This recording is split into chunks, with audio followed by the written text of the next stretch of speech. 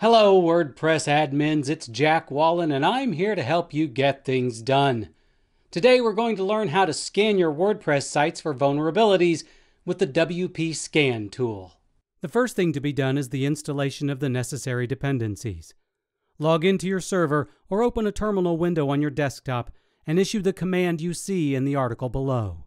Once that command completes, you can then use gem to install WP Scan with the command sudo gem install WP Scan. That command will take a minute or two to complete. Once it's finished, you're ready to scan. Before you scan that first site, you'll want to update the WP Scan database with the command WP Scan dash dash update. With the database updated, let's scan a site.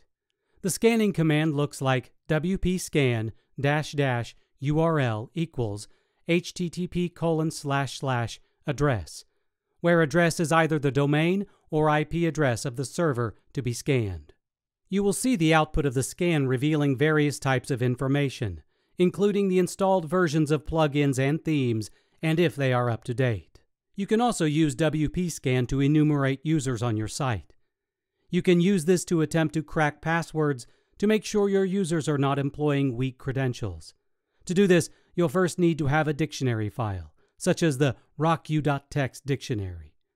To enumerate users, issue the command wpscan dash dash url http colon slash slash address dash dash enumerate u, where address is either the URL or the IP address of your WordPress site. This will give you a list of the registered users on your site. Now, say you want to check to see if those users' passwords can be easily cracked. To do this, issue the command wpscan dash dash url equals http colon slash slash address dash dash passwords file dash dash usernames user where address is the URL or IP address of your WordPress site, file is the file name of your downloaded dictionary, and user is the name or names of the users to be tested. This scan will take a considerable amount of time, especially if you're checking a number of users.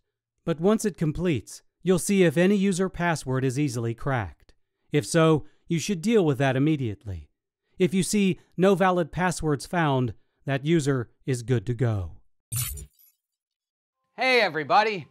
Don't forget to like this video and subscribe to our Tech Republic YouTube channel. And be sure to check out more how-to videos at How to Make Tech Work.